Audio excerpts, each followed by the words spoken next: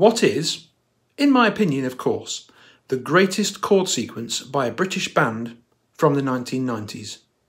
You probably all think I'm going to say The Master Plan by Oasis or something like that, but I'm not. There are some great contenders for the number one slot.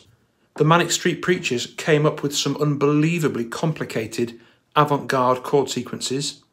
Misshapes by Pulp is another very strong contender. Suicide Drive by the Seahorses is also right up there for me. The song that tops the list for me, however, was recorded at the Coach House in Rockfield Studios, produced by Owen Morris. The album art was by Brian Cannon, and I'm still not talking about Oasis. I'm talking about a tune called Goldfinger by three Northern Irish lads who were incredibly teenagers at the time. This is Ash, who were then a teenage three piece rock outfit whose debut album contained some of the best tracks of the Britpop era. Goldfinger was their breakout single. It placed them in the top five in the UK at the height of Britpop mania in April 96 and helped push their album, 1977, right the way up the album charts to number one.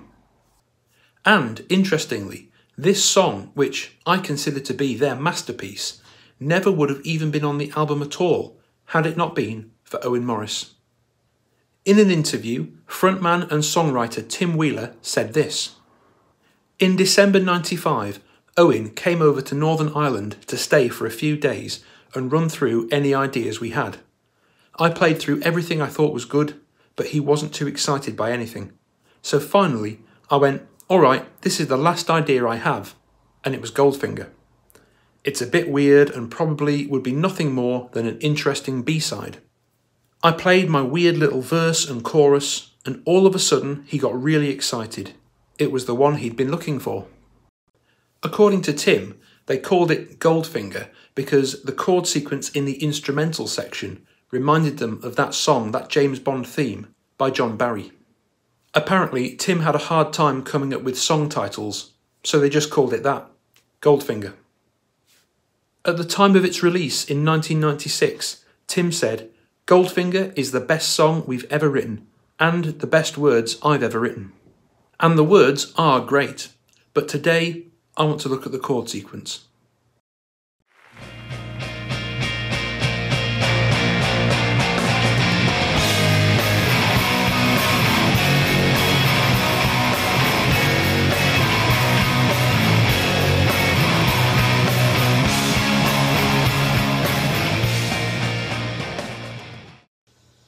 Back in the 90s, as a teenager myself, I was pretty good at working out chord sequences by ear, but this one was absolute bloody murder.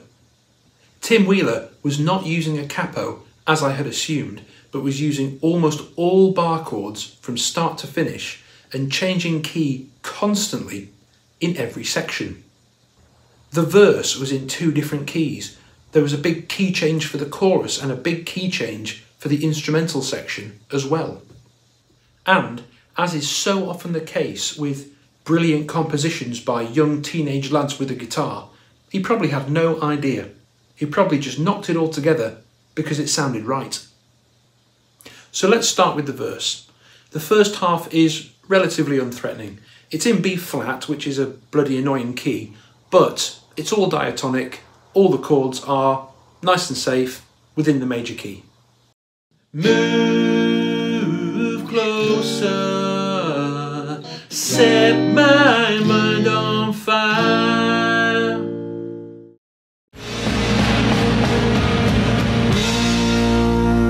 Move closer, set my mind on fire. We're in B flat major, and like I said, the first half of that verse is all just diatonic chords, so we've got no interesting beatly chords and no jarring Nirvana chords. But now, let's look at the place I always hit a brick wall as a teenager. The second half of the first verse. Taking over, the world seems so alive. Oh, uh, oh, uh, oh. The world seems so alive.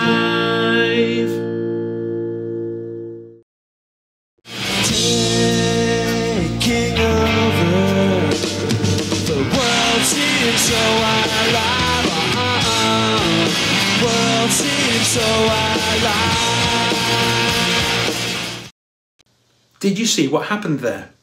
Tim Wheeler threw in two absolutely mental chords for this key an E minor and an A7. And he managed to weave a vocal melody around them so smoothly that you barely even notice. Just to illustrate how out of place those two chords are, we're in B flat, so listen to B flat. And now listen to that with the E minor.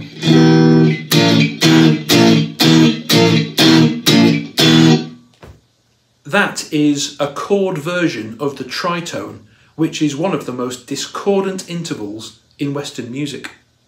Now, of course, those two chords, E minor and A7, could be from several keys, but we know he moves into G from the notes he sings.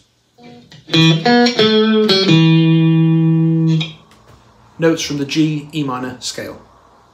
And because the melody is so good there, that funny little turnaround that should be a jarring key change just actually functions kind of like a question mark in the music before we move straight back into the key of B flat.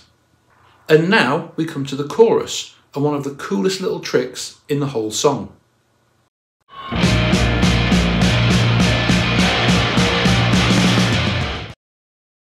Tim is still playing a B flat, adds one finger to that E shape to turn it into a B flat suspended fourth.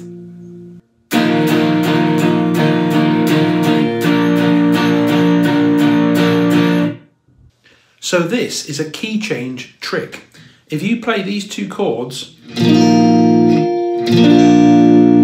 anywhere on the neck, the ear naturally expects that you're going to resolve to the A shape in the same position. So let's try that a fret up.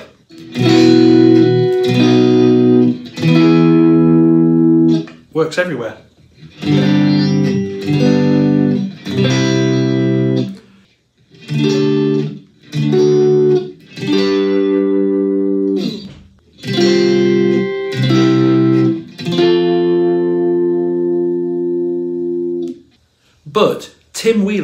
Plays a trick on the ears with the notes he sings over these two chords. He sings E flat, B flat, and F.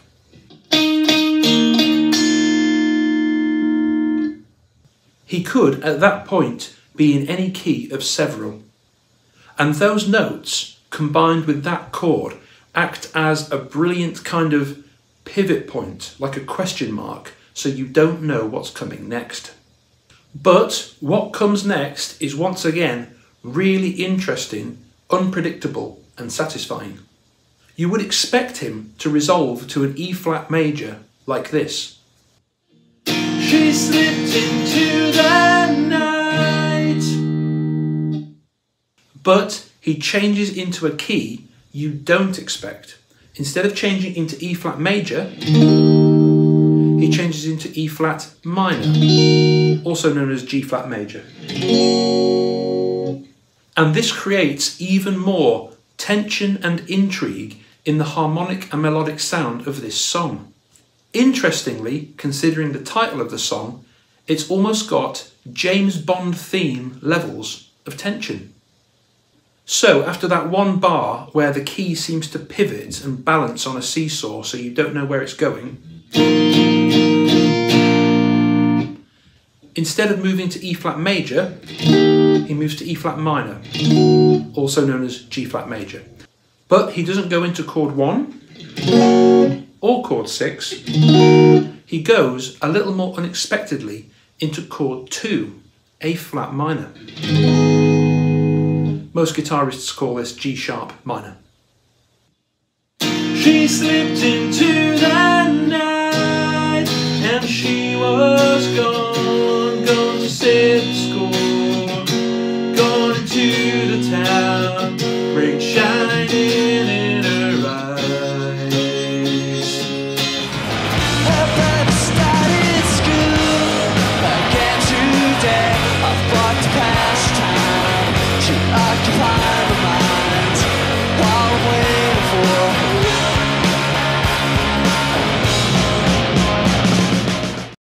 every line ends again with that brilliant pivot point. The B flat suspended fourth back to a B flat. So we're back to a kind of implied E flat major just for the last chord of each time through the chorus sequence. And Tim uses that one bar of pivoting on the B flat suspended fourth at the end of the chorus to move smoothly back into the verse, another key change. Down in the basement, listening to the rain. And last of all, we come to the instrumental section that inspired the song's name.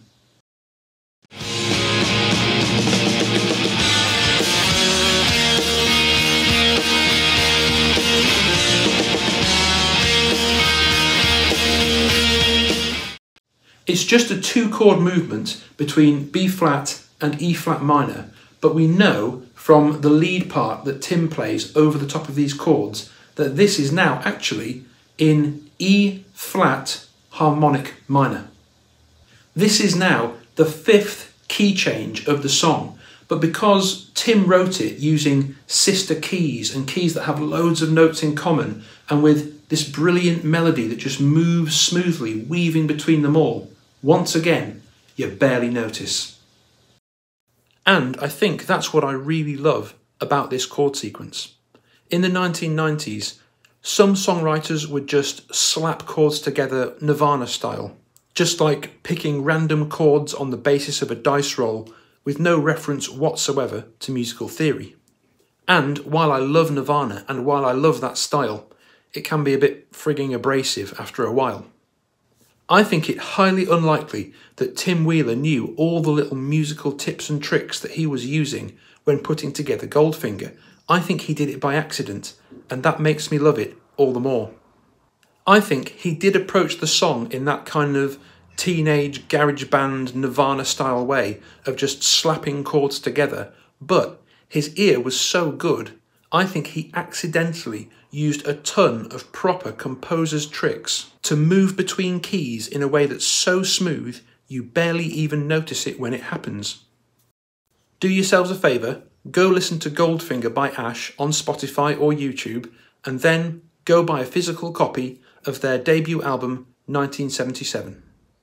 Produced by Owen Morris, cover art by Brian Cannon, recorded at Rockfield Studios, and number one in the UK in 1996 an absolute 100% genuine Britpop classic.